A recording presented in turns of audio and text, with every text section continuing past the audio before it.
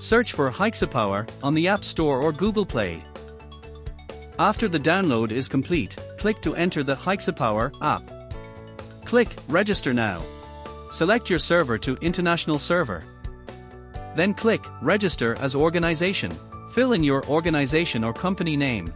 Then change registration method to by email.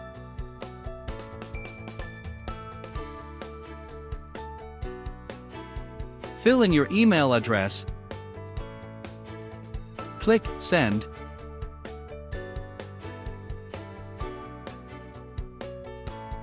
Then fill in verification code.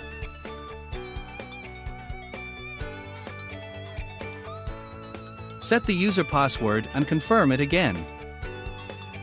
Then agree to the terms of use and privacy policy. And click Register.